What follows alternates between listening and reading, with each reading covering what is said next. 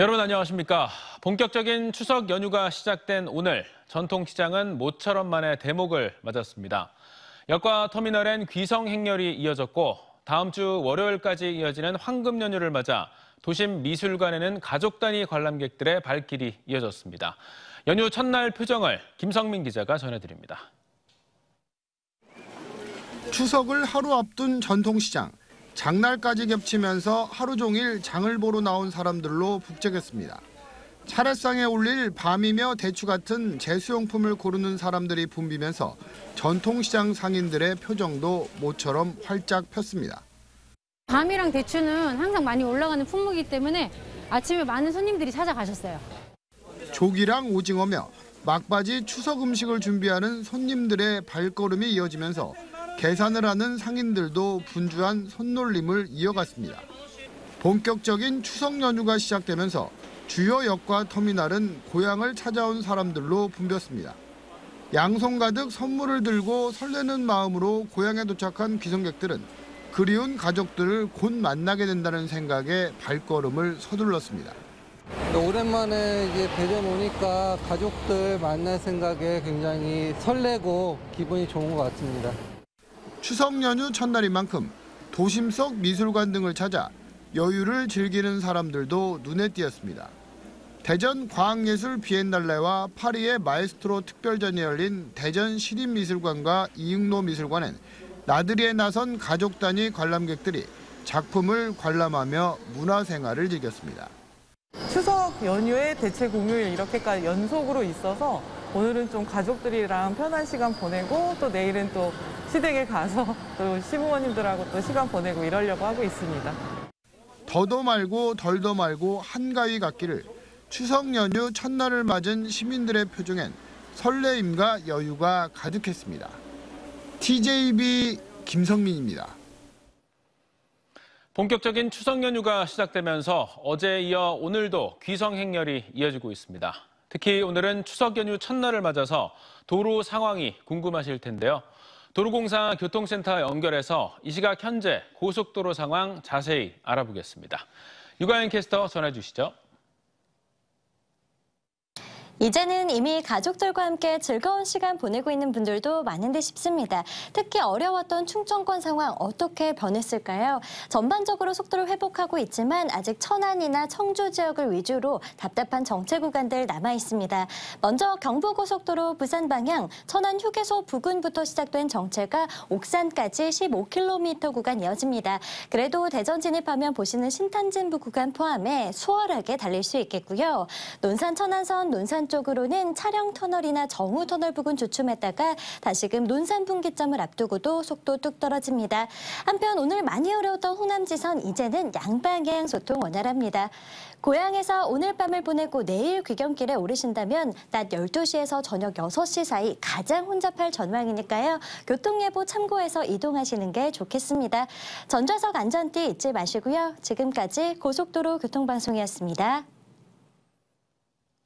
오늘 새벽 4시 10분쯤 대전 서구 월평동 월평 삼거리에서 27살 남성 A씨가 몰던 승용차가 좌회전을 하다 마주오던 승용차와 부딪혔습니다. 경찰은 운전자 A씨가 만취 상태에서 음주운전을 하다가 신호 위반, 위반으로 사고를 낸 것으로 보고 정확한 사고 원인을 조사하고 있습니다. 이보다 앞선 새벽 1시 20분쯤에는 대전 서구 도안동 옥녀봉 내거리 인근에서 직진을 하던 택시와 좌회전하던 택시가 부딪혀 택시 승객 등 4명이 다치는 등 사고가 잇따랐습니다. 명절 연휴 때마다 가족, 이웃들끼리 함께 모여 즐겼던 윷놀이. 하지만 코로나가 장기화되면서 이렇게 윷을 던지며 즐거워하는 모습도 어느새 보기 어려워졌는데요. 코로나 이후 만남이 단절됐던 어르신들을 위해서 조금은 특별한 윷놀이 대회가 열렸습니다. 김철진 기자가 다녀왔습니다. 대전 유성구의 한 경로당 어르신들이 한데 모여 대형 유출 높이 던집니다. 상대는 모니터 너머 있는 또 다른 경로당 할머니들. 화상으로 연결된 어르신들은 자신의 말을 어떻게 움직일지 사회자에게 전달해 승부를 펼칩니다. 유성 지역 65개 경로당 어르신들이 온라인으로 연결돼 윷놀이 최강자를 가리는 대회가 열렸습니다. 이동이 쉽지 않은 어르신들께 집 앞 경로당에서 다른 지역 경로당 어르신들과 펼치는 온라인 윷놀이는 마냥 신기하고 재미납니다. 온라인으로 접한다는 게 너무 신기롭고 감사하고 주인공으로 나와서 참석하고 여러 어른들을 만나게 하시고 그래서 너무 좋습니다. 결승전에 한해서 오프라인으로 경기가 진행되는데 현장에 오지 못한 어르신들도 온라인으로 랜선 응원을 펼쳤습니다. 경로당에 설치된 화상회의 장비를 통해 집 앞 경로당에서도 여러 프로그램에 참여할 수 있는 겁니다. 어, 온라인 대회를 통해서 어르신들이 같이 직접 대면하지는 못하지만 화상으로라도 만날 수 있고 서로 정을 나누고 또 그 안에서 즐거움을 느끼고 코로나19 이후로 만나는 게 눈치 보였던 지난 2년 반. 다른 여가 활동이 마땅치 않았던 어르신들께 온라인으로 연결된 경로당은 마음을 기댈 또 다른 공간이 됐습니다. TJB 김철진입니다. 우리 나이로 90세면 사실상 사회활동이나 스포츠 생활이 어렵다는 게 일반적인 인식일 텐데요. 이런 나이에 대한 선입견을 깬 주인공이 있습니다. 이 어르신의 활동을 지켜보면 인생은 60부터가 아니라 90부터라는 생각이 드실 겁니다. 김재범 기자가 만나봤습니다. 청명한 가을날 진지한 표정의 노인들이 파크 골프에 한창입니다. 게이트볼과 골프를 융합한 실버 스포츠계의 인기 종목입니다. 1시간 넘도록 경기장을 누벼도 지친 기색 하나 없이 의욕적인 모습의 어르신이 눈에 띕니다. 천안시 파크 골프 협회를 이끄는 김남흥 회장. 강철 체력에 열정으로 똘똘 뭉쳐 90살 청년으로 불립니다.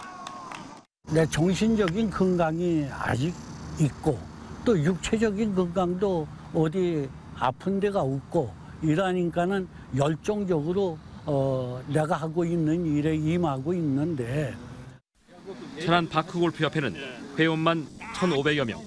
그 순을 맡는 어르신이 회장을 맡는 것도 드문 일이지만 무투표로 추대됐다는 게 더 의미가 깊습니다. 워낙 건강 체질인데다 활동적인 모습으로 큰형님 리더십을 발휘한 점이 회원들의 마음을 움직인 겁니다. 회원들로부터 굉장히 그 호응을 많이 얻으신 분이시고 어, 열린 마음으로 대화가 되시는 분이다. 그래서 저희들이 그 고사하시는 그 회장님을 여러 가지로 이렇게 설득을 해가지고 회장님으로 모시게 됐습니다. 예산 확보를 위해 시체육회를 찾은 김 회장. 구순 회장의 치밀한 설득에 체육회도 꼼짝없이 지원을 약속합니다. 단 하루도 허투루 보내지 않겠다는 열정과 발로 뛰는 부지런한 모습은 나이를 잊게 합니다. 요구하시는 것도 아주 논리적이시고 너무 과한, 과하게 요구하는 것도 없고 해서 저희들이 어, 사실 꼼짝 못하게끔 그렇게 요구를 하시는 그런 아주 분심입니다. 아주. 중학교 교장을 지낸 김 회장은 퇴직 이후 30년 가까이 더 바쁜 인생 2막을 열었습니다. 천안의 영웅 김시민 장군 기념사업과 노인대학 설립, 주민 참여 예산 제한, 체육단체 회장까지 힘들지 않냐는 질문에 김남웅 어르신은 인생은 90부터라고 말합니다. 나이는 숫자에 불과할 뿐 오늘도 할 일 많은 28 청춘입니다. TJ 김세범입니다. 대전과 세종, 충남의 코로나19 하루 신규 확진자 수가 5,952명으로 집계됐습니다. 대전은 전날 대비 36명이 감소한 2,243명이 확진됐고 충남은 153명이 늘면서 3,133명의 확진자가 나왔습니다. 같은 기간 세종은 576명으로 609명이었던 전달보다 다소 줄었습니다.